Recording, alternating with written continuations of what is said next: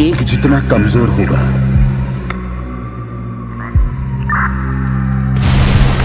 दूसरे में उतनी ही ताकत होगी।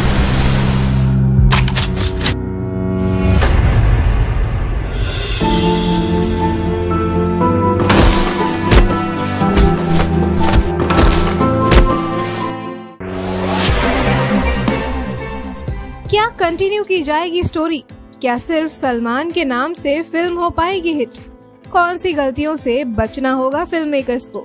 नमस्कार दोस्तों, मैं हूँ आपकी होस्ट पंखुरी और आप सबका बहुत बहुत स्वागत है बॉलीग्राड स्टूडियोज में। बजरंगी भाईजान से पहले सलमान को डेविल का नाम मिला था और अपने डेविल के नए और एक अनोखे कैरेक्टर के साथ सलमान ने अपने सभी फैंस को काफ़ी सरप्राइज़ भी किया था। ये एक ऐसी फ़िल्म थी जिसे फैंस ऑडियंस और क्रिटिक्स सभी की तरफ़ से काफ़ी अच्छा रिस्पांस मिला था और अब इसी फ़िल्म का पार्ट टू बहुत ही जल्दी हम सब के सामने आने वाला है।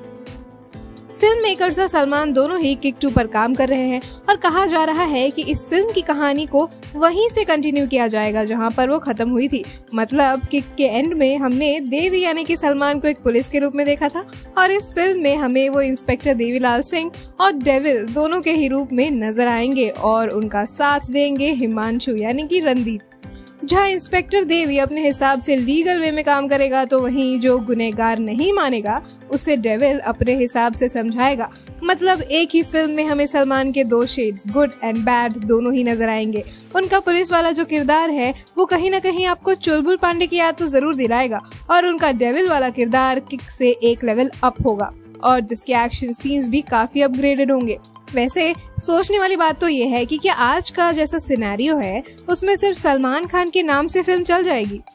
पहले ऐसा होता था कि जब भी ऐसा सुनने में आता था कि सलमान खान की फ़िल्म लगी है या आने वाली है तो लोग बस उनका नाम सुनकर ही उनकी फ़िल्म देखने चले जाते थे, फिर चाहे फ़िल्म कैसी भी हो।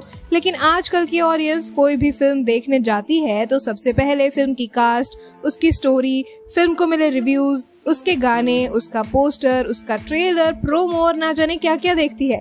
इसीलिए आज सलमान की फ़िल्म आने वाली है, ये सुनकर सिर्फ़ लोग 10 परसेंट ही एक्साइटेड होते हैं। साथ ही, जब भी कोई रीमेक फ़िल्म बनती है तो लोग उसे ओरिजिनल फ़िल्म के साथ तो ज़रूर कंपेयर करते हैं। और अगर उन्हें फ़िल्म पसंद नहीं आती है तो वो उसे बॉयकॉट या ट्रॉल करने के पीछे से हटते नहीं है।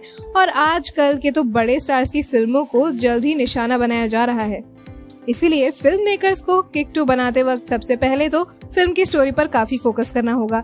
ये एक ऐसी स्टोरी होनी चाहिए जिसका बेस किक से मिलता हो और उन्हें सलमान के साथ साथ बाकी सबके किरदारों को भी अहमियत देनी होगी। इसके अलावा वो फ़िल्म के एक्शन को लेकर भी कोई गलती नहीं कर सकते और उन्हें रियलिस्टिक एक्शन दिखाना ही होगा। उसमें वीएफएक्स का भी कम यूज़ करना होगा ताकि देखने वाले उसे फेक का टैग न लगा दे और साथ ही उन्हें फ़िल्म के टीजर और ट्रेलर पर भी काफ़ी ज़्यादा काम करना होगा।